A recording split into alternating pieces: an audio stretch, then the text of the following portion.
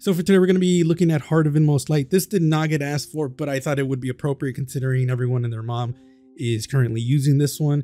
And even with the changes that are coming to the ARC subclass, I still think this is going to be viable as fuck. So if you guys like the video, like, comment, subscribe really does help because a huge portion of people are actually not subscribed. So if you can do me a favor, like, comment, subscribe. I'm going to keep saying this until that number gets better because it's wild how much how many people come to my channel and just watch a video and leave. So I'd appreciate it. And other than that, let's get into it. So before we get started with Heart of Inmost Light and how it looks, let's actually look at what the exotic does. Overflowing Light. Using an ability, uh, grenade, melee, or barricade empowers the other two abilities. Empowered means abilities have faster regen melees and grenades do more damage and barricades have more hit points. So it's really cool. Uh, that's probably why you see a lot of people doing the dumbest shit with this, which is why you're also seeing people use storm grenades because storm grenades on top of the Titans uh, new aspect is really good. I don't have much to say about this because I personally haven't been using this build because I haven't been playing the game like at all. To to be to be fair, I kind of took like three weeks off, which means I missed out on a lot of the Halloween stuff. I didn't get a god roll for the sniper, which is I'm still kind of regretting, but that's pretty much what it does. It's really good. Obviously, I don't have to explain this to you because it, this build has been destroying the meta to the point where people are asking for it to get nerfed. Rightfully so, but it's kind of busted. So Inmost Light is an interesting exotic in the fact that it's such a plain looking exotic. Like it's it doesn't wow you. Uh the only cool thing about it is the fact that the like scars on the chest piece and in the back of the chest piece, more bullets in the back, but still like all of this damage is blue, which is super cool and it does not change color unfortunately. I would love to see Bungie rework this so that way it changes with whichever subclass you're using because this is uh, a class agnostic or a subclass agnostic exotic, which means that you can really use this with any exotic or any subclass, which is why I would like to see different colors for it because you guys will see from like one of my favorite examples that's that I made for the of Inmost Light why I think they need to change that. So as for how it shaders, I think it shaders fine. Again, like I said, the only problematic piece will be the fact that the blue tinge doesn't change color. I know a lot of people are going to get really annoyed about that. Uh, with so the special thing for me is the fact that I actually made four example sets which is kind of funny, but I did decide to make four because everyone and their mom is using this and because I had a lot of fun using this. So you guys will notice that a lot of these shaders that I chose, uh, there's some blue in it. So that way I can at least match the blue in the chest piece. So again, a shadering situation, it all shaders fine. It's just the blue doesn't change color. And if my eyes are not deceiving me, the brass doesn't change color specifically like on like uh, brass. It's brass. It's it's on top of the shoulders. Some of it is like below the rib. Like that brass color will not change color from what i'm noticing. Other than that it's not that annoying. I think the only really annoying part is the fact that the like abdominal spot um like the sides has this really like nasty not nasty but it's just a not a good pattern personally so there is that as well. As for the first example set, so for the example sets, I'm just going to show you my favorite one first. This one legitimately took me about an hour because I was just fin like this is this is the first one I worked on and I'm going to be real with you guys this is my favorite one. I think it looks amazing, very majestic, very cool in my opinion. So, for the helmet we're using the Virtuous helm because I wanted something regal to like it's kind of like the chest piece is so fucked up and the boots are also like crumbling as well, like cracks and whatnot, that I still wanted to maintain like a sense of royalty for everything else. So it's kind of like like a knight is currently fighting something and the light within is breaking out. Kind of a little theme towards it, but I wanted to make it seem like my titan is like of royal descent, but the cracks on the armor is like the light coming from within because I'm fighting so much, and the cracks in the chest piece will most likely just be like, oh, it's damaged, obviously. So, uh, honestly, I really like this. I think the arms, Arms of Optimus looks really good with this set. which surprised me because I rarely use the Arms of Optimacy. I think the last time I used it was probably a year or two ago. It's been a while. For the for the boots, Solstice Greaves uh, Magnificent is not something new. This is like one of my bread and butter pieces because it's so good. Uh, one of my favorite boots in the game currently because I also have this. Uh, I also have these boots for another set, specifically the Loreley Splendor slash uh, Helm of Saint 14 look that I have on these two videos. And I think I found my arc look, which is pretty funny.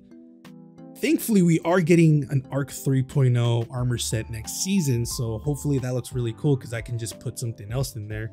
Um, but even then, I think every piece looks amazing. I think the the mark looks amazing. It's from Solstice this year, so unfortunately you can't get it anymore.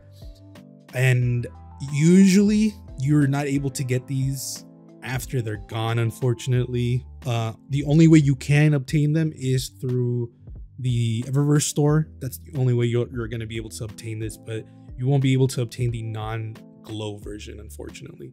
Unless Bungie brings back all the armors from previous season, which I am all for. I would I hope they would do that because it's kind of dumb not to have all the armor for for people that weren't there.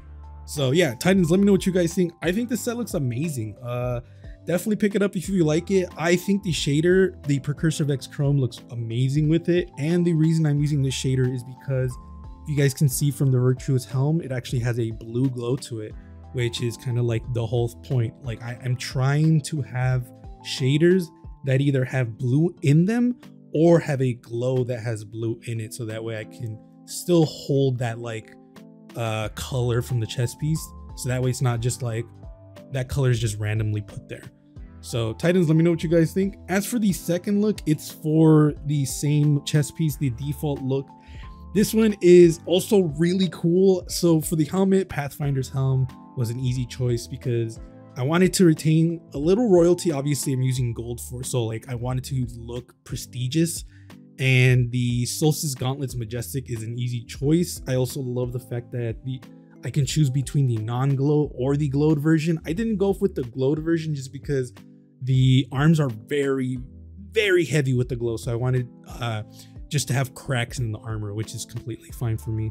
For the boots, Crushing Greaves is an easy choice. I love, love the fact that the Crushing Greaves actually took the gold shader because if you guys don't know, the Crushing Greaves actually takes the off color of armor pieces.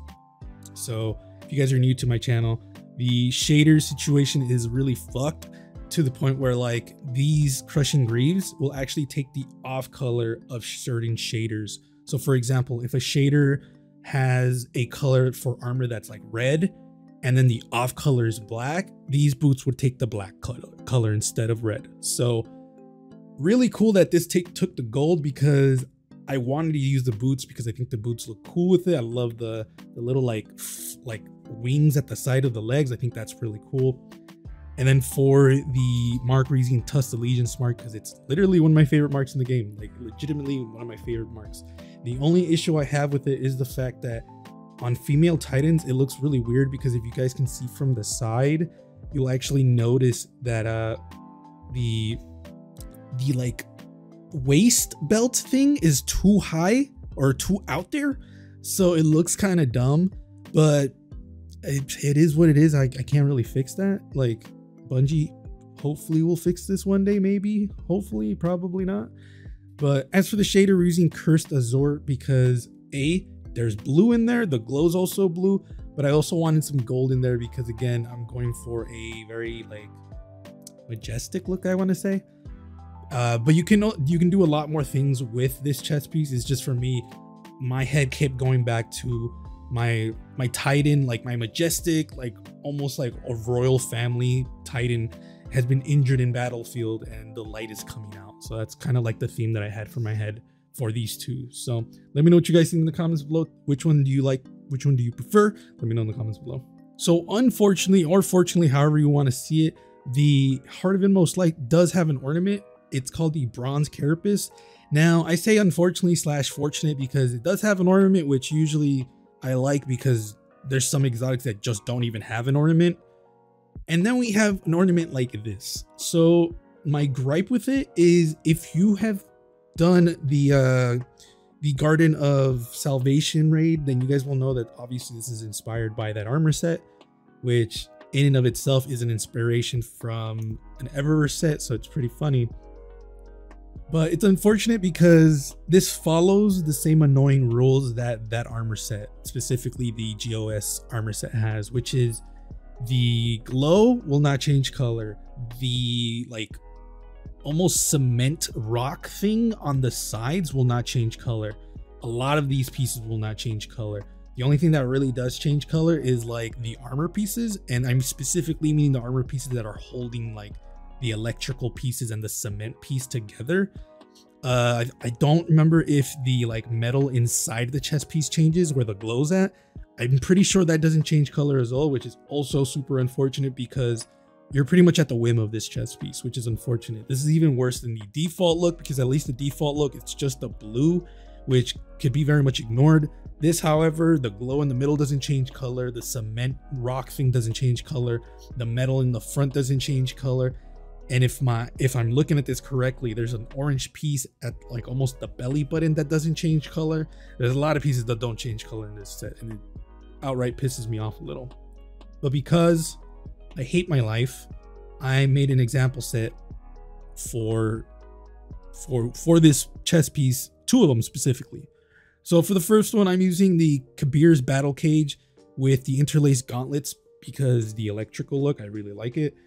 We're using the Legacy Oath Greaves because the electrical look, and then the Forge Machinist or Mechanist uh, mark because I don't want a lot of cloth in this set because obviously I'm going for an electrical look.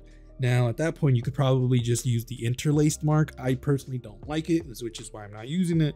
But I like the Forge Machinist set because there's little cloth to this. And the cloth that is there is like the sides and the back. So I think it looks super cool. Let me know what you guys think in the comments below. But I think my only grievance with this chest piece is again, just too many pieces do not change color. As for the shader, we're using the Argent Teratorn. Uh, there shouldn't be any color restriction for this one because again, there's just so many pieces that are restricting your choices already that you might as well just go in and ignore everything else. For the second look, I do end up using, I think, the boots from Greaves of the Ascendancy, which is obviously the the boots from Garden of Salvation. The helmet is Kabr's Battle Cage again because this one is more of a Vex look, which is why I'm using the, the helmet. For you, you could switch it out for any other piece, but that's the one I wanted to go with. For the arms, we're using the Omega Mechanos gauntlets because A, it's the only piece I have from that set because I got it back in Warmind, even though it shouldn't have been dropping. And it's fine. Like I don't really mind it. Do be aware that if you want to use the Greaves of Ascendancy, it's basically this, but the right arm is on both sides. So it is symmetrical. The glow is this hint of purple and like blue almost. So be aware that you're gonna have to find a shader that has that similar glow, which is why I'm using the rose scale shader because that shader actually does have that tint of purple. So if you have rose scale, that's a really good shader to use with this if you want to combine the purple. For the bond, or for the mark, I should say, we're using the phenotype plasticity mark because, wow, there's so many things. there's so many reasons why I'm using pieces that I'm using. Specifically, the phenotype plasticity mark is the best one for this because it doesn't have a white glow on it. As you guys know, the phenotype plasticity set has a lot of white glows in it. So the boots have like a white glow coming from the, I'll probably show you right now, maybe, um, if I don't find it too much of a pain in the ass. But you guys can see that just there's too much white. The chest piece has a white spot in the middle, if I remember correctly, and white spot. It's just too much white. And I didn't want white in here on top of everything else, although the chest piece does have a glow that's kind of white, so you could probably mix and match that. But then you lose the option of using the Greaves of Ascendancy because the Greaves of Ascendancy, uh, the glow doesn't change color. So a lot of things to take into account when you want to combine pieces. So just be aware that the Greaves of Ascendancy will always retain that color, which is why I ended up just ignoring the phenotype plasticity, everything aside from the helmet. I think the helmet would have been the best option and then maybe switch the Kabr's battle cage for the Kabr's uh, mark because then at that point you have a really cool mark And because Rose Scale has the purple, it would have matched a little bit better. But this is what I came up with. Let me know what you guys think in the comments below. That's pretty much it. Let me know what you guys think. Again, like I said, my favorite one is the first one that I showed you guys. I think that one looks amazing. I, To be quite honest, I think the first and the second look that I made for the default look of it just look amazing. I think they just came out really good. But if you want to know my honest opinion and the set that I would be wearing, it would be the first one just because it looks so majestic and so cool. So yeah, let me know what you guys think in the comments below. Titans, did I do you guys justice? Let me know in the comments below. So I am working on some content. I'm working on a second channel as well. Currently, I am kind of piggybacking uh, all the con all the non-Destiny 2 content that's in my channel currently. I'm putting in the new channel, which is why it's taking me a while because I do have quite a bit of content that's not Destiny 2 related in my main channel. But I do have content for this channel, which is going to be the uh, Doomfang Pauldrons, I already have, I've already completed it. I just need to make a out or a, a voiceover for it, which is what I'm going to do right after this one. And then the Bombardiers for the Hunters, which is most likely going to be the next one out because the Hunters uh, still technically need one more. And then you'll get Doomfang Pauldrons, and then we'll be working on Warlock stuff at then. And then uh hopefully I can finish some of the exotic or not exotic, some of the legend. Hopefully I can fit Hopefully I can finish the legendary weapons reviews that I want to do because I do want to review some of the weapons from the season because I think they're really cool. And I do have some other like videos that I want to talk about specifically like some some of the things that's happening in the community and whatnot. But oh, and some like weapon tuning that I think we we need to see as a in the game. So let me know what you guys think. Again, thank you guys and I appreciate you and I'll see you guys later.